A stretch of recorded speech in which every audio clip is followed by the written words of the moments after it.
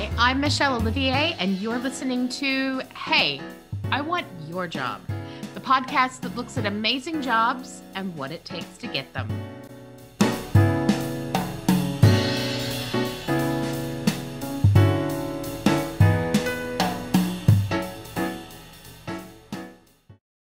Welcome to Hey, I Want Your Job. And this week, I really do want your job. Like, Natalie, if you just want to send that this way, girl, I'm in.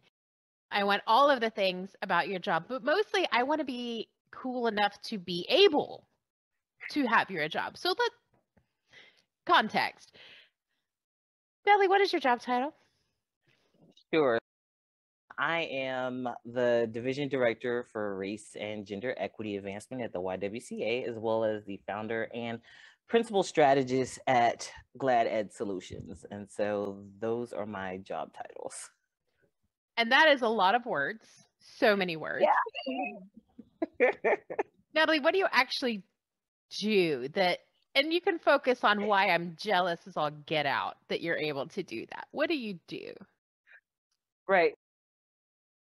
It sounds way more exciting than I think it is on a day to day basis. So I'm sorry. It was like, oh, so I, I do administration work, a lot of it, but it's administration work over cool stuff. So I will say that much. Okay. And with the race and gender equity work, I help develop our economic programs. And so we have a lot of programs that are targeted to help women start businesses, to get into tech careers, savings, buy houses, all those things that help people get advanced economically, especially during these times uh, of COVID. I also oversee our family wellness programs, which really focuses on breast and cervical cancer. So, screenings, education, helping people that have been diagnosed with cancer, as well as our race and gender equity work, which has sort of a, a big, sort of wide range of community outreach, some internal work, as well as our global education, which is for kids. And so that is probably the the cooler of the two titles that you were referring to. So I think uh, actually, I'm an HR nerd, so I actually dig all of the things that you do. But I definitely like.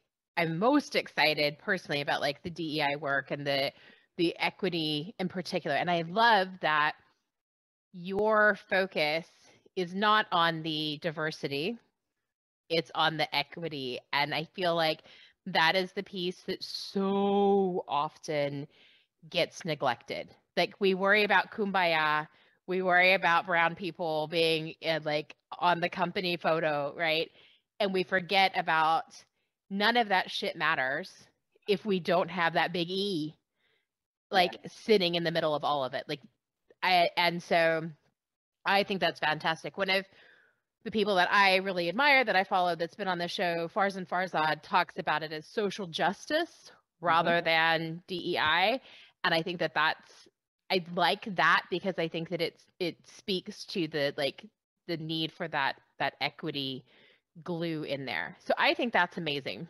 Anytime I have somebody whose focus is equity, I always have to ask one of my pet questions. So okay. I warn you in advance.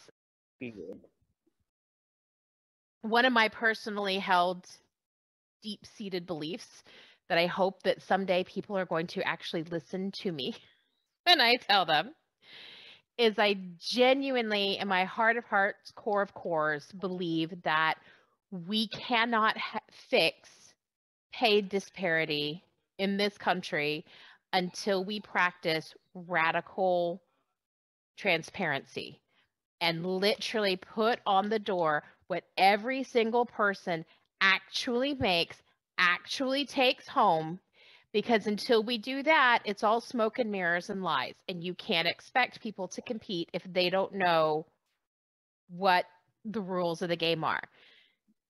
That's what I think. You set me straight, Natalie. Yes, you're right, basically.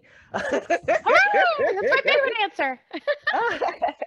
so that's that's definitely um a part of it because pay equity is one of the, the things that we really talk about and so a lot of times when people sort of address pay equity, they come at it from um, an upskilling perspective of let's give individuals more tools in their tool belt and therefore they'll be more qualified and be able to get the additional pay.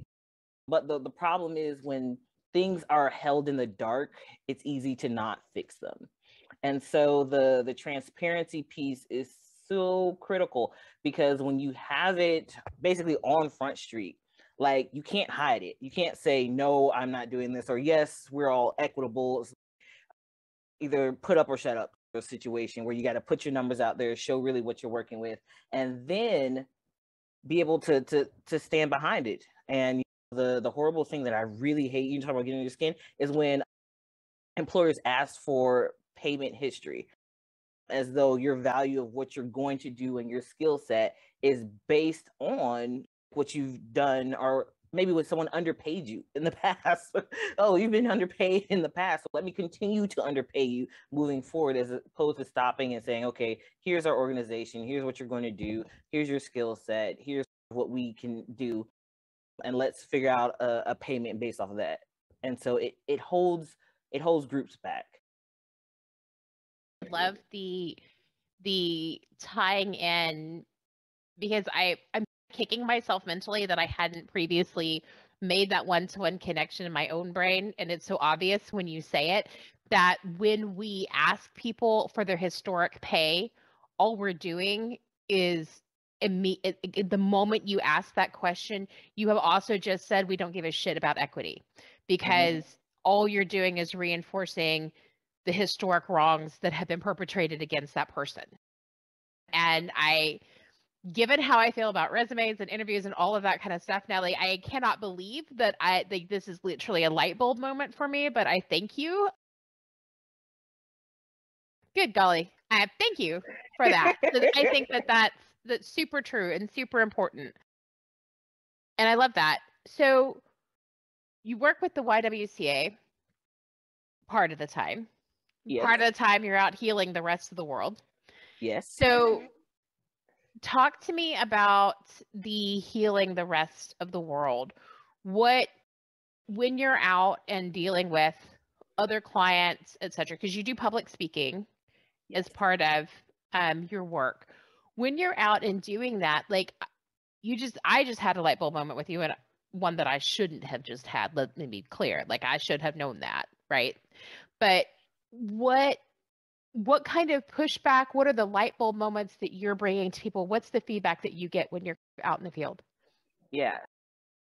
When i'm out working with other people just a, a real quick of what i do is i really work on company culture right? Helping organizations to basically support their leaders in the type of culture that they build for their teams. Uh, a lot of times it's really those frontline managers that sort of build how people feel when they go to work, how much how engaged they are, how burnout they they eventually become in their organization.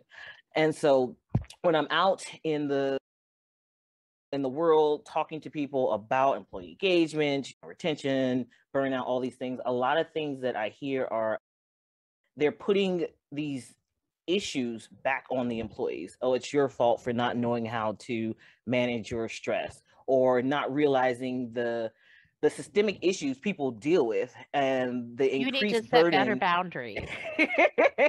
yes, in their lives, or let's let's do some yoga and meditation, and that will heal all your problems. Like I just, I literally heard that yesterday. It was just like I had to step back and just take a breath. I was like, okay, we're not going to talk about like the stuff that's happening within your organization that's causing this.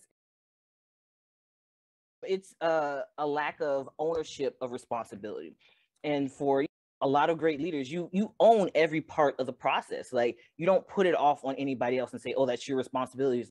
No if someone's not feeling engaged they're not whatever situation is happening i'm going to take ownership to do what i can do to make or help them be their best. And so if you have things going on outside family issues something happening with your child i still want you to be the best in the situation and so i'm going to support you in any way possible to do that. And so I think from an equity standpoint, we don't take those things into consideration when we're talking about individuals that are dealing with equity issues because the CDC just finally said that racism is a public health uh, issue. That means that it is constantly weighing on people of color, women, LGBTQ communities, like a lot of people that experience oppression within our community are constantly feeling this weight on them on a regular basis that impacts their their mental state their their physical capabilities. And as leaders employers they need to understand that they need to create a safe space that supports individuals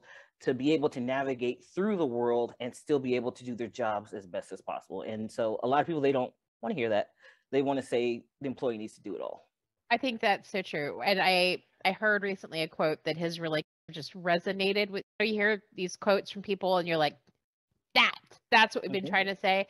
That the the hardest job in the world is being poor in America. Mhm. And we forget that, especially the further visual clues like racial differences, gender differences, physical disability differences. Yeah. We have reminders, but the socioeconomic difference, the further up we go, the more we forget how hard it is at that place. And then when Mhm. you have a other factor on top of that, right? You're a minority and a single parent and all of those things. Uh, it's incredible. I, I was I was talking to somebody the other day who they're not below the poverty line, but she's a teacher. So I think we all know that's too close to the damn poverty line. Am I right? it is It and they got two is. kids, and Mm. sh- she was telling me that her apartment hasn't had hot water for three months. See, that's my face. And I was like, Are you what? I was like, That is illegal. You Yeah. should call the. And she was like, And then what? What am I going to do? Call the Mhm. state? Okay. And then what? They come in and tell them they have to do it, and then they give them 90 days, at which point I'm another 90 days. But in the meantime, I'm the one that called the state. So now believe nothing in my apartment's going to get fixed. And she was like, and worse than that, this place is a dump. What happens if they show up and then they close it? Mhm. Now what? Now I got to find somewhere for me and my family to be. I don't have the money to do that. I literally cannot afford to fight for the rights that you're absolutely right. yeah I should have. And I just, I heard that, Natalie, and I just, w- my mouth just fell open, right? I'm pretty, I try to be pretty good about checking my privilege, all the flavors of it, right? Mhm. But damn, like she was right. yeah She was the most in need of protecting at that moment and literally nothing she could do. And of course, like that impacts every other thing in their life, right? Mhm. I can't imagine trying to have two kids and be a full-time worker, etc., and not even be able to have a hot damn shower at night yeah or to bath my kids in a hot bath. Like the level of things that we take for granted is Mhm. remarkable and remembering exactly what you're saying, like how much of an impact that makes every single day on our life is is huge. How do you help? What do you say to the hiring managers when they when they have those moments where they're like, that hadn't occurred to me. You got to leave your personal stuff at the door. I'm not paying you to worry Oh about your gosh. kids. Like how how do you coach through that? so those are those are those are interesting personalities which i i hope are a dying breed as we're moving forward you know, i can pray and hope and wish. I, I usually try to bring it back to something that they can relate to right? Where a lot of people that have that that are hiring managers that are executives are usually exempt right? And mm-hmm. so they usually have some time off to deal with their own personal issues. Whereas if you are an hourly wage worker you don't necessarily have those same privileges and if you don't work you don't get paid you don't eat right? And so i, I kind of try to remind them that there are we're whole people right? And then i, I take them back to like have you ever had a, a morning where your kids decided they didn't want to get out of bed they didn't want to get dressed to go to school they missed the bus you had to drop them off then maybe you had to stop for gas because you didn't fill up the night before because you were rushing home for something and then you found out your mom got sick and then you had to come in to work with all these things weighing on you, rushing, um, things not in order, family issues, like how do you feel? Like, can I tell you that you aren't a whole person that doesn't have experiences don't that don't impact your day to day? Everybody is a whole person. And so as much as we would love to be like leave your personal stuff at home, you can't tell people to leave part of them at home. And there's actually an exercise that I do where I um, have people to to list their their identity. If you're a woman, I'm a black person, I'm a mom, all these things, boom, boom, boom, boom, right? Your whole self of who you are. And they usually list about anywhere from 10 to 12 different identities if, you know, I help them through the, some of the things. And then they'll, I'll tell them, okay, take that, cut it in half, right? You can only be six of those things, right? And we're like, okay. They, they can usually do half, right? Six. I'm like, okay, the six, cut out half more. You're only three of those things. Those are the three you, you gotta throw away, right? And then okay, now you can only be one of those things. And then once you get them them to realize that, oh my gosh, I have all these different identities that I would love for people to respect, to see me as a whole person, that all these things are weighing in. They make me who I am, right? We're not these sort of single things. We're a intersection of a lot of different identities. And because we're an intersection of a lot of different identities, all of them experience the world from different viewpoints. And because of that, that's what makes us who we are. And you don't want people to to only bring part of themselves to work. Mean, if you want to throw some psychology in it, it actually takes a lot of mental strain for them to hold back. So when you tell them to leave their personal stuff at home, you're telling them to use some of the brain power that they could use at work to hold back part of who they are and so they're you're not getting their full capability anyway. And it's, it's, a, it's a it's a walking through process to to get them to relate to it and to see it from somebody else's point of view. I love that process though, and I love that you I love that activity of the like now cut cut yourself in half, cut yourself in half, cut yourself in half because absolutely you are always all of those things. And I think mm-hmm. that I can see that really resonating with some people. Obviously, there's going to be some they're going to be like, I never have that. I'm always. And you're like, friend, I think one of my favorites, I was doing a training on how not to be a jerk as a manager, kind of thing you're talking about, just more bluntly phrased. And we were talking about the need to accept that everybody gets to have a bad day. And I had one of those managers that was the he's never been wrong in his damn life, Natalie. And you you leave you at the doorstep and nine to five, I own you and you're what I tell you to be, guys. And I said, You're telling me you've never had a bad day. You've never had a day where your personal impacted. No, ma'am, I'm the same every day. Okay. At which point his buddy turned around and said, Are you kidding me? if you don't get lunch on time, you're an asshole. And he was like, I mean, I just need a Snickers bar. And he's like, Are you under the impression that you mm-hmm. work the same when you're hangry as when you're not? And and then the two of them they kind of like joked and they got into it. But like even something that small, right? but just having i think for me the lesson in that was if i can get their peers to call them out mm-hmm. instead of me trying to call them out if i can make it such a basic damn level that you can't get around it and then yeah. have them call each other good naturedly mm-hmm. obviously mm-hmm.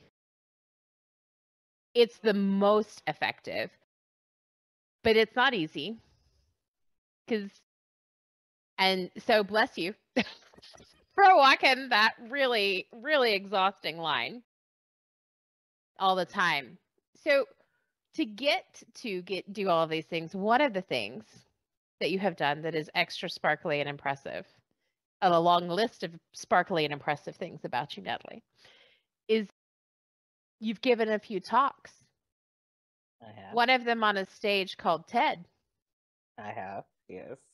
So let's talk about your TED Talk.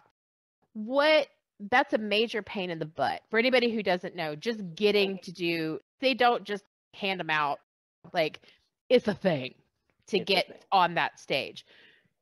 You got to want to do it bad enough to jump some hoops. So, mm-hmm. what was your talk and why was it such a passion for you that you had to get up on that stage?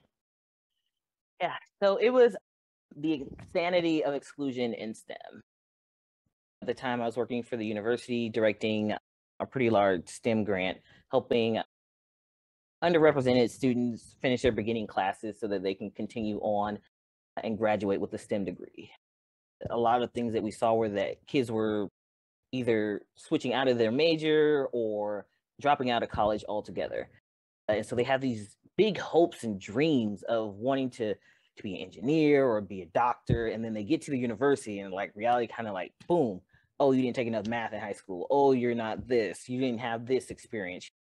They just didn't have a lot of experiences and weren't prepared for what those colleges and universities were going to throw at them and i saw that and i saw people had to to give it their dreams at such a young age and it, it kind of hurts to, to see an 18 year old be like you mean i can't do that? I've taken chemistry three times and i can't get anything above a 50 no matter how hard i try no matter how many tutors i have and it hurts for them to to to come to that point and it's like how do you stop that from happening? How do you continue to allow people to have dreams and move forward into what you know their heart's desire truly are? And i, I came up with this idea that we need i called it like a, a mentoring pipeline or mentoring chain where if you are a STEM professional, then you should be mentoring college kids and what they need to do to get into the profession. If you're a college kid, you should be mentoring high school students to understand what they need to be successful in college. If you're in high school, you need to mentor middle school students about what they need to do to be successful in high school because you got to start off high school right if you want to get to college. And middle school math is really where most STEM careers start. And so there's a lot of support that needs to be had early on but the best way to connect with kids are finding someone that's a little bit older than them that can show them the the way slightly. And my whole thought process is if we just set up this system where we just help somebody right under us and encourage them to do the same then we can create these mentoring chains and pipelines that are going to get more underrepresented students into stem. Because in reality what's represented in stem now been the same. And so we got too many problems going on. Oh my gosh, what a surprise. We have too many problems going on in this world to have the same sort of perspective, the same sort of thought process. We need some some different ways of thinking and different individuals looking at this problem from different perspectives to really come up with some new solutions to these problems. And so that was my thing. We keep doing the same thing and we want different results. And that's just that's crazy. We gotta do something different. I feel you. And Yeah. I love that idea as well because as much as my godson is a skinny white boy, he absolutely he loves science and he loves engineering. And that has always since he was little bitty, his favorite thing to do is play scientist, right? Oh. Don't get excited. He's 15. I He do. I'm sorry. I have a STEM background, so yes, I'm excited about it. I yeah, yeah. it. He ain't cute anymore, Natalie. Let's be clear, right? And last year was he was freshman in high school last year, and it was it was rough. It was rough for Mhm. all the kids. Yep. Some more than others. My godson was definitely in the more than others camp on the rough. Mhm. And as a result, though, he failed a bunch of classes. And I was like, Yeah. before I kill you, what were you thinking? He's like, oh, it doesn't really matter. And I was like, stop. What is your plan after you graduate from high school? He was like, "I'll probably just go to the University of Texas. I was like, not anymore, you're not. Mhm. He said, Yeah. what do you mean? I was like, buddy, you just got three F's on your transcript. That, bet- that is not about to happen. Mhm. UT Austin is not an easy place to get into. Yeah. That that is no longer you have just written off a whole tier of opportunities. And Mhm. he just sat there and looked at me, Natalie, and then he cried. And he was like, and I'm like, he's like, I, I didn't know. And I was Mhm. like, ah, I call a little bit of bullshit. I'm like, I've known you a while now, kid. And I know that I have explained to you that when you get to high school, there is a different level of ramification. Mm-hmm. Your behaviors have, they start to impact where you can go. And just you're talking about, I hated to shit on this 15 year old kid's dream. I don't know how much of a dream it was. I feel like it was a path of least resistance in his head. But like, I had to turn and be like, that's not going to be a thing. Or you're not going to mm-hmm. go. You're not going to go to any top tier school. Mm-hmm. MIT, no. U Texas, yeah. no. Like all of those are no. Unless you like freakazoid go and knock the SAT out of the ballpark and get a perfect score. But he's Even not that. that kid, Natalie. He's I I know everybody knows read a news article or has an uncle's cousin's brothers twice mm-hmm. removed, what have you, that did a thing. I get it.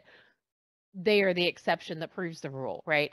Yeah. And but I think that your point about that pipeline is so true and so appropriate here because I think he didn't listen to me because I'm old. And so grown-ups are always talking to kids and it just gets that blah, blah, blah, blah, blah, blah, right? Yeah. But when another kid says it, and especially if they say it over and over and over again, uh-huh. that just it has a different level of resonance and i think that that's true for for all young people and i think that i i just i think that you're a genius i think that's a great idea and i hope everybody listens so you went on ted yeah genius idea then what happened? Did the whole world turn around and say, Natalie, let me throw money at you to come solve this problem? And 50 million people knew your name and you went on Oprah and it was like, is that how it went? Not quite. I had I'd been doing the work before the the TED Talk, trying to create this the system and this pipeline of getting kids in, into the STEM fields. And so before that, I had actually worked on an actual pipeline. And so with you know, grad students, college students, and high school students, trying to give them different opportunities within STEM so that they can feed into different programs to to move through the, the pipeline a little bit more.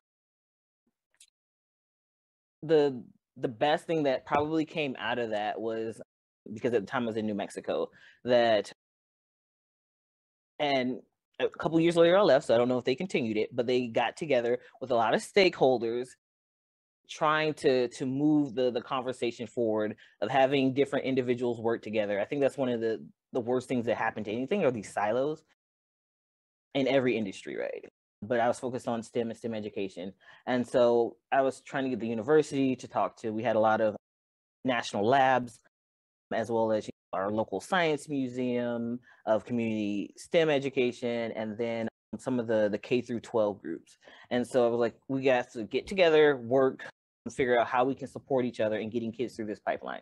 And so we came up with a, a few different projects, one of which was a career fair for high school students that focused on healthcare careers. So a lot of kids they want to be a pediatrician because that's all they see and all they know. There's more in healthcare than just pediatricians. And no, you do not have to see blood to go through and have a healthcare career. And so there's a lot of misconceptions about healthcare. It's like you can still go into healthcare and never see an ounce of blood. Like you can you can do that. And just to open up their eyes to all the different possibilities that are out there. And so that was one of the, the things that that kind of came from that as well. So not throwing money, but at least it, it brought awareness to the issue a little bit. Well, I I wish that they threw more money at you, but I'm glad that there was at least awareness. Mm-hmm. So that the throwing money part brings me to something that I I struggle with as a woman and I know that it is worse the further down the skin tone chart you get, which is people expect women in particular to do work for free. I cannot tell you how many times I have people who come to me and they're like, "Hey, I just want to ask you a quick question about negotiation or hey, I have this interview coming up. Could you just help me right quick with interview prep? I'm like, bitch, you know how that's how I feed my kids, right? Like my fee schedule is very clear and on my website.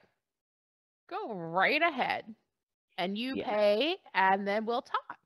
But it is people get shirty and you mean you're just in this to make money? Like you well, again, that's how I feed my kids, right? Like little bastards want to eat every day. what? like More than once, right? right and, and so i know that's bad for me and i i genuinely struggle with towing the line between being a nice human hmm and being paid for the subject matter expertise that i have. Hmm how do you handle it? Fix me natalie. How do i toe that line better? So lead by example. about fixing. I, I feel like I'm I'm in the the pool with you. where I, I struggle with that too, where I, I want to help individuals uh, because there was an organization I was working with, and they were like, "Yeah, let's just sit and talk about it." And then so I sent them a proposal, and then like they just went silent and dark, and then hired somebody else. And so I was just like, "Okay, so we're just gonna." get some information from me and then just take it and run and some of the things that i've done is to to limit the time that i give those individuals and so i give them a nugget that they can find again on the website and anything else that they read some of the work that i put out. And then i say okay oh man i got a, a meeting scheduled next. I can't stay but if you like to dive into this more i'd love to dive into this more. I'll send you you know some paperwork some proposal and then we can set up a formal relationship to to move forward and to to really get at the the root of this because i want to give you the time necessary to to really figure out how to do this. And so that's the way i go about it is i just we're only going to talk about this for so long and you know, after mm-hmm. about 15 20 minutes you can't get that deep into any particular topic and so they can't get that much especially if you start off with some niceties and like how are you doing? And how are the kids? And so you do it a little bit. Yeah. Yeah, and that's always what's really hard for me, right? Because I genuinely I don't work with assholes. I'm pretty pretty blunt and that on the list of my my colleague has a, a list of shit Michelle says. that one is a reoccurring theme. Like I I just don't. Like I I life is too short. So mm-hmm. as a result, there is that kind of like the how's your mama and them kind of mm-hmm. conversation that goes with it. And lines can get blurred. And so I feel you. And then the same is true that like my heart goes out to job seekers or that aren't in a position to pay for our services. And again, a big part of what my business partner does is say, Michelle, we can't keep giving it away. we have to charge people at some point.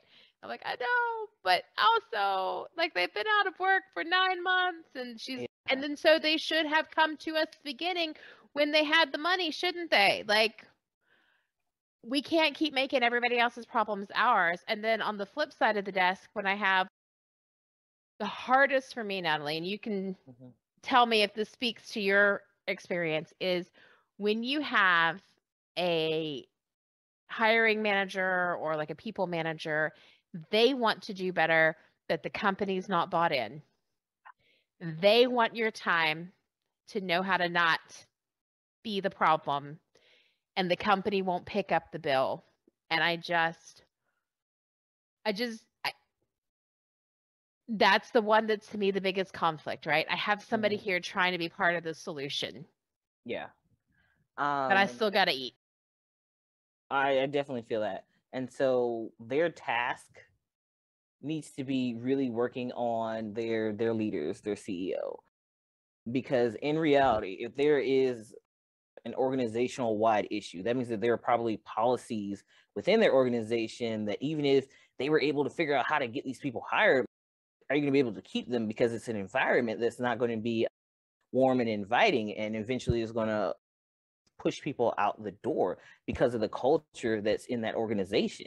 And so framing it that way, there's a deeper issue that even if you and I like figured this out and I figured out what you need to do, like you are going to still turn people away. And so everything that we did, all your efforts of getting these individuals in the door will not have a lasting effect if you don't get at that root of the problem within your organization. You got to get your your leaders on board to to be able to to get at that problem. I think going back to the whole your focus on equity being so important, I think that that's a big part of the message from my perspective is you as a one-off hiring manager cannot fix the equity issues in your organization. Yeah. You can fix you you have influence on diversity, you have influence on inclusion, certainly. You do mm-hmm. not have influence on equity. Yeah.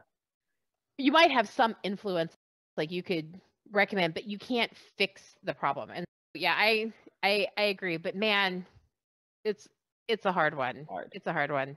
I but encourage them, right? They they have their moments in their organization where they can yeah. speak up and they need to to be that that advocate, that ally in those situations and not just say, "Oh man, it's my my bosses or my organizations or cultures point of view." No.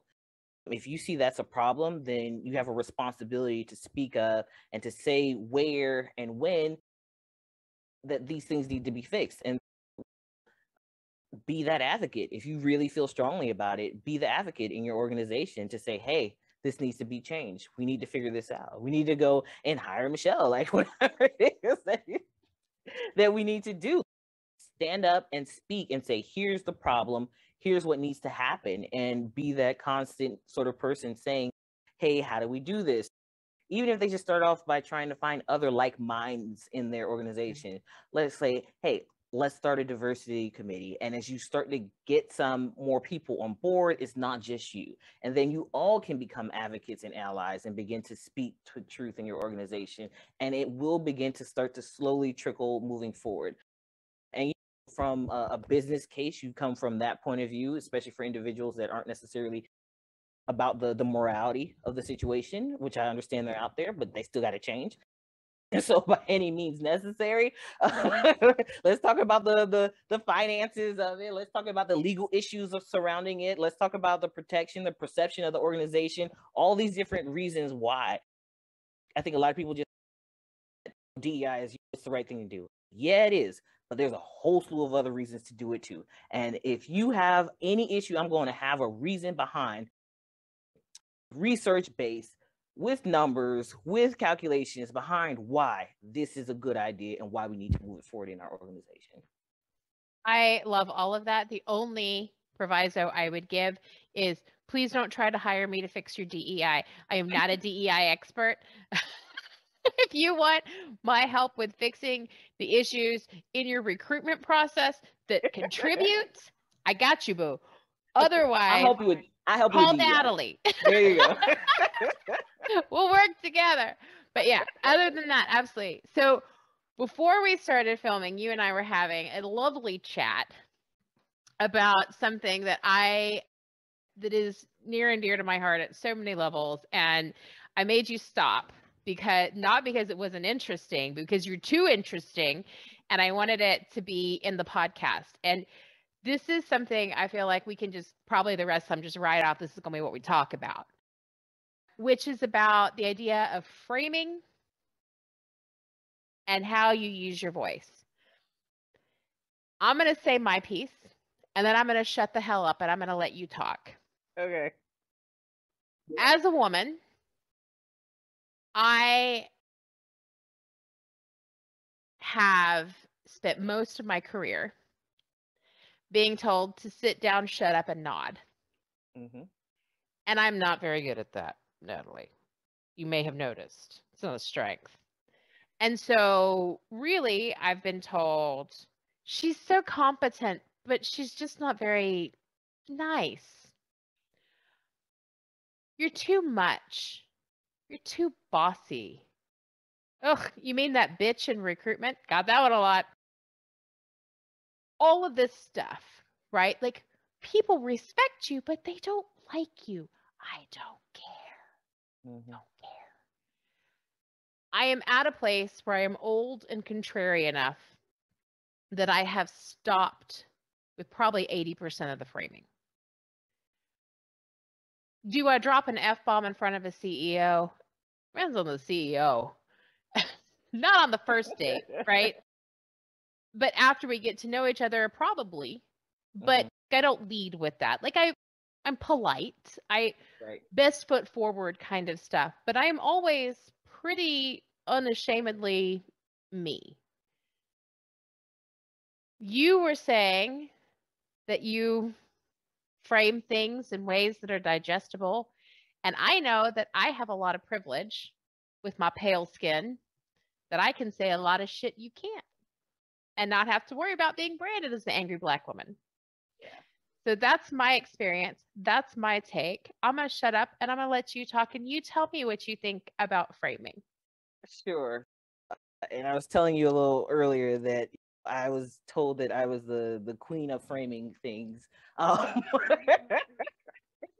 to give you a, a, perspective that again is palatable for uh, whatever the situation is. And I think it has to do with a lot of things. So yes, being a woman, being a woman of color, but also the the space that I'm in. When you're in DEI, uh, it can get sensitive sometimes, and there's some just scars and these trauma that we as a nation are, are holding in our society, which in turns are bred in us and what we watch and what we read. It's it's like everywhere, right?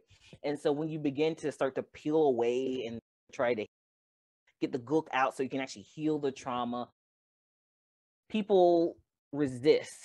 And so what I don't want is them to resist. I want them to uh, be open to the transformation that's necessary for the healing to take place. And so to do that, I have to be very aware of the words that I use. And so I often pause and think, is this the best way to say this? Not necessarily because I don't want to say it the way I want to say it. If you put me in the right situation, I probably will. But because I know my end goal is I want them to be transformed. And so I will say it in the way that gets me to my my goal. And because I, I want that to happen, I'm like, if I have to say it in a nice fluffy way, as opposed to that these these policies are just racist and you need to change it. That's like what were you thinking? Like really, which is what I would like to say, but what I say.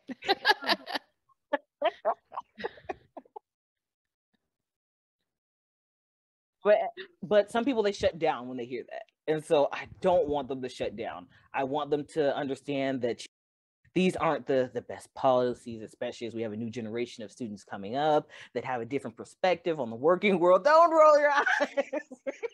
But it's the reality. It's still the truth. Just blame gen z. That's what i heard. You blame gen z. But it's not just gen z because it's also the the stats behind it of who you empower and there's a an entire workforce that has talent that we aren't leveraging and so we want to make sure everybody's included and they're giving their best. And so there, there's a lot of, of reasons and i have this whole business case behind dei that comes from multiple perspectives that i run through when it comes to policies and why a particular policy isn't as supportive as they may think it was or it may have been at the time of creation. And that's another thing that people need to understand that as time goes on, policies need to be reviewed and updated no matter like what organization you're in, no matter what it's about. You got to review it and update it. So this is the time to understand what's necessary to help your organization grow and be better. And like I said, I don't want them to shut down, but I want them to change that thing.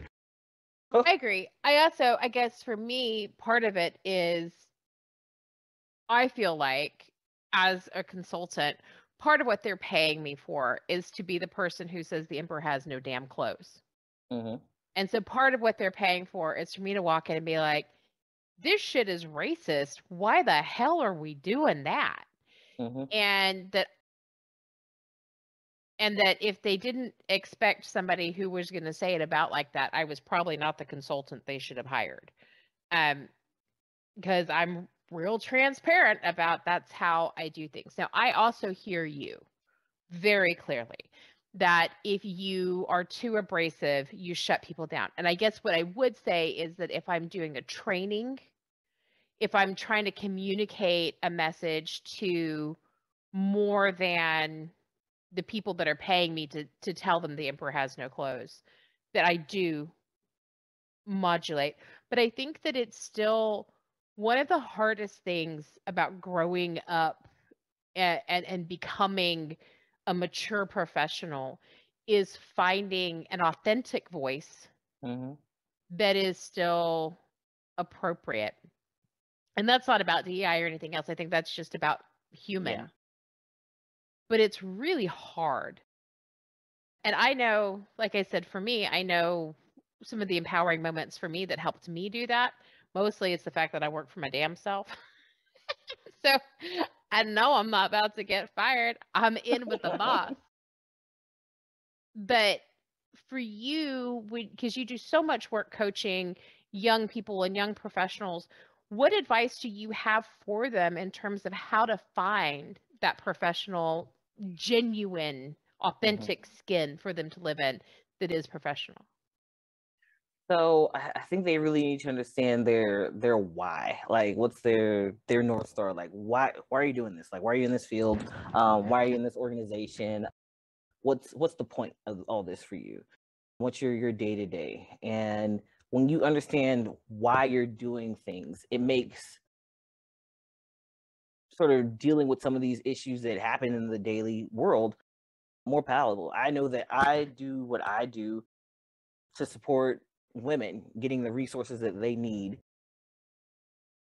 in a society that unfortunately does not value, pay, or respect them us as as we should be. And because that is my focus always is how do I get this for the women? How do I get this for our clients? How do I support them?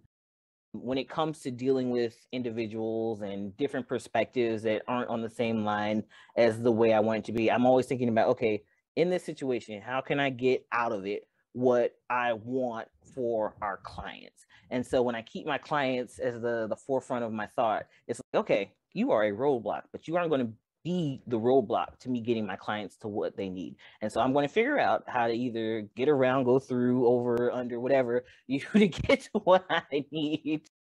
Maybe take a taxi and go all the way around so you didn't see me.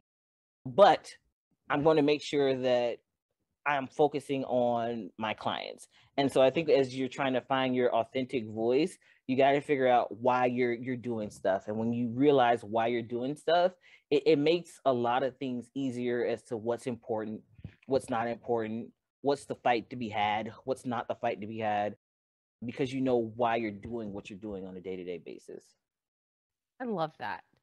So I have a question that goes along with that about something that's had a lot of press recently, and I'm really interested on your perspective. Code switching is it was never on my radar. Not surprising, all things considered for the melanin challenged, but it I had never noticed it until it became such a talking point in our hmm kind of community. And in my head, I think it is bullshit that anybody should feel like they have to do that. hmm At the same time, if you want to talk, present, however, because that's how you prefer to do in that context, it's none of my damn business. hmm As long as you are doing it out of your choice and not because you think that's the only way to communicate with me. Very specifically, talk to me about code switching. Like, what what is your your experience, your take, all of that in the current, and and how does it fit in with the current objectives? Yeah. I was told that and taught that at a an early age, right? So you do this in front of one group of people and you don't do this in another in front mm-hmm. of another group of people, right? And it, it becomes just a part of the way you operate because that's how you're taught how to survive in the world. Like you just don't do this in front of a different group of people and chastised if you do it.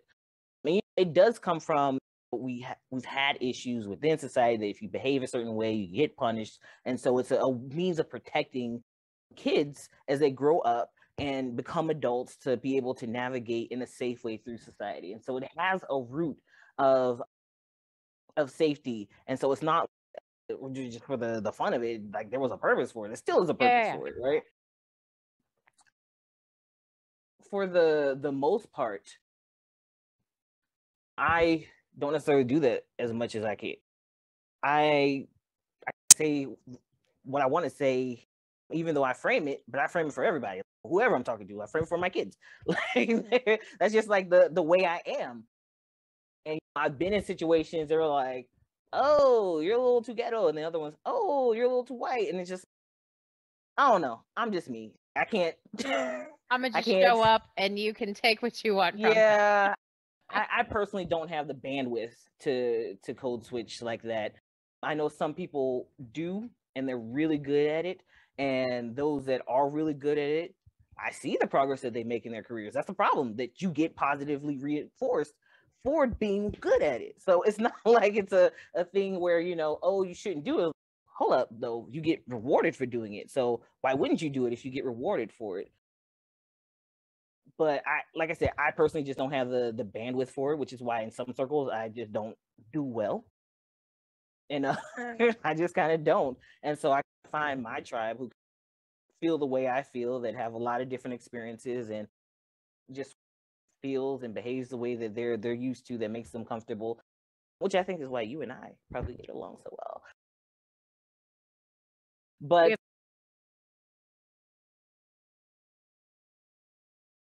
But it, it's definitely something that has been around for a very long time. Yeah. I don't see it going anywhere in all No. all reality.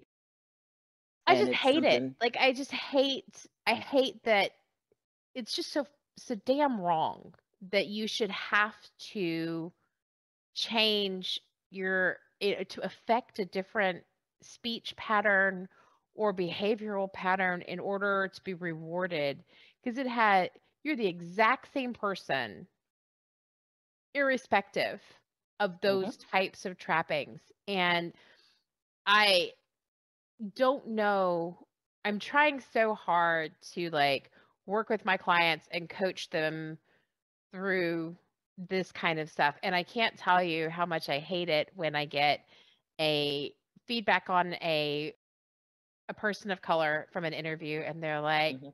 Not sure about their communication skills and i'm like it, that's always oh really? As soon Mhm. as i hear that on a person of color i'm like we're going to need to get some real like that doesn't just because they're a person of color does not mean they have great communication skills. They're crappy communicators of every color by all means. But we just for me that's always a i have to pause and investigate that and i i struggle because i just don't like i don't know how to say it's safe. I don't know for the the people who feel like they have to code switch you know what i mean? I don't know how to to teach recruit like hiring managers and that's other than stop being a jerk about it. Like the fact that they use vernacular the fact that they use more comfortable language rather than being super formal doesn't make them a bad communicator it just means that they didn't use the words you would have used and Mhm. they're not the same thing. But it's really it's it's such a complex issue and I, it- I guess to me it just still baffles my mind how long i went living so comfortably in that privilege of never even noticing it. Do you know what i mean? I yeah. What advice would you have for because i have been asked and i came up with a big goose egg. Organizations that want to make it really clear that you're not that that's not necessary or an expectation. Um, that they want to make it clear that you can come as your best self. You want to use vernacular you want you don't need to try to change your accent and all of that kind of that that code switching is not particularly rewarded other than just not rewarding it which is Yeah. the best way like how to indicate that i have no idea So I, I think you can tell when you walk into an organization and if you see everybody being their authentic self, which means that everyone should be a little different, right? Yeah. Because we're not the same. So it's going to be different. But if you walk into an organization, everyone's speaking the same way, dressing the same way, that there's a culture where there's an expectation that you behave and speak and present yourself in a very particular way. And so if an organization wants to to make that apparent, then they should start with themselves and what they again, what they allow, what they support, what they reward. If I see people I, re- I remember an organization I work with that uh, there was a director who basically spoke Spanish and there there was like some communication issues with English to Spanish, but they were great at their job. And it was okay that they spoke Spanish and didn't speak English. That let me know that you could still be good at your job and not necessarily have to have or fit into some mold. But if everybody's fitting into a mold, because you can see it when you walk into the door, it makes me wonder like what is going on within this organization. Organization, you got to be aware people are can pick up on things when you walk in that door. Like how what's the culture? How who's sitting at the front desk? Who's in the back office? How are people connecting with each other? Does anybody say hi to each other when they walk past each other in the hallway? There are a lot of micro interactions that are happening that we pick up on as individuals that stem from our culture and how we feel we can represent ourselves within that culture. And if people don't feel like they can represent themselves in that culture, they're not going to. And people coming in the door are going to be able to see that. What I heard, my takeaway from that is that when I am in an interview and drop an F bomb, I'm doing them a favor, Natalie, because Oh, I am that. making it clear that I, that in this culture you do you and we're cool with it. Like you don't have to pretend. It does say that. It does say that. yeah, it really does say that. It And, is you know, clear communication of non bougie is still rewarded here. So yeah, to some extent that that's true in some interviews that that i give because uh, sometimes i'm the, the hiring manager too i yes like you said i speak in vernacular and a little bit of slang because i would have said that anyway and so just because you are now the interviewee i'm not again going to change the the way I, i'm speaking to you and I joke about the. F bomb, but I think that even things like people come in and be like, "Uh," and we'll be talking about something, and I'll just like, that freaking sucks. And I'll say it exactly the way I would have said. You can just watch you know, the mm-hmm. pressure valve getting Yeah. released a little each time, especially because when you're when you are the hiring manager, you or the the interviewer in general, you have that power, and the more you're setting that tone of I'm going to show up authentic, and I want you to do the same. Yeah. definitely I think helps create that. So I I think that is that is good advice. I'm going to tell everybody more f bombs. That's that's my mm-hmm. That's gonna be my advice. And then I'm gonna when they ask me why, I'm like, y'all should talk to Natalie. She'll explain. She's a mu- she frames it better than me. She's the frame queen.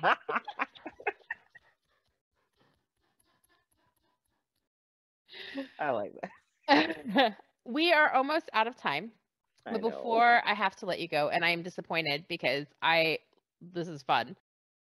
What have I not asked you that I should have? I guess just some of the the projects that I have on the horizon, and so I don't think we got to. Tell me about it. We're going to have Sure. all of the links to you and all of your stuff in the show notes. So do not worry. People yeah, who are as impressed with Natalie as I am, I'm going to make it really easy for you to find her. Do Oh, not worry. Thank you. I Um, appreciate that. But other than that, hit us up with a few details of exciting things you have going on that people should know about. Sure, sure, sure. One of the wonderful things I actually really want people to to know about is that I'm actually going to be doing a, a free training coming up in December. I know. Uh, I was like, only because of the topic, I was like, man, I Just really got want. done talking about not giving it away, Nelly. You know, I no. feel like I need to take you to task on this. but it it's part of a strategy. I will say that much. So- Okay. okay. okay all so right. it's not it, it's purposeful and the the topic is basically being a better ally and so we're going to dive deep into a little bit of dei and what individuals can do to be that advocate that we talked about within your organization and so that you can go forth and make the the world a, a better place my friend, I have a good friend named Madison who one of her go-to statements is Google is free, y'all. Google is free. Please stop asking black women to Google for you. so this is your Natalie is offering a session. And so that's one of the points. But well, She's done your Googling for you. You can show up. don't ask your your coworkers. Basically, that's one of the points. Don't ask them. So That's right. don't Step ask them. one. Yes. Quit expecting every person who doesn't look like you to be your like go-to point. Yes. Absolutely. I am excited for that. I'm gonna sign up. Where do I sign up? go on our LinkedIn page. It, it's posted there um, on the Glad Solutions page, and all the information uh, on how to register is on there. Okay, if I accidentally drop an F bomb, you're not gonna kick me out, are you? No. All right. Yeah. no. I will shut up and listen instead of talking over you. But I am excited. Genuinely, I'll come to that. That's exciting. Cool. Thank you, thank you, thank you. I have loved every second of this. I am excited to to come to your training and take part of your your free wisdom. Thank you for that. And thank you for your mm-hmm. humor and being awesome today. I really appreciate it. Had fun. Thank you. Thank you. You've been listening to Hey, I Want Your Job. For more information on how you can get your own awesome job, visit ONH Consulting at www.onhconsulting.com. We offer incredible resumes, no nonsense career advice, and real world tips for landing a job in today's market. Check us out on LinkedIn, Twitter, Facebook, and Insta for more insider information. Soon, you'll be hearing us say, I'm Michelle Olivier, and hey, I want your job.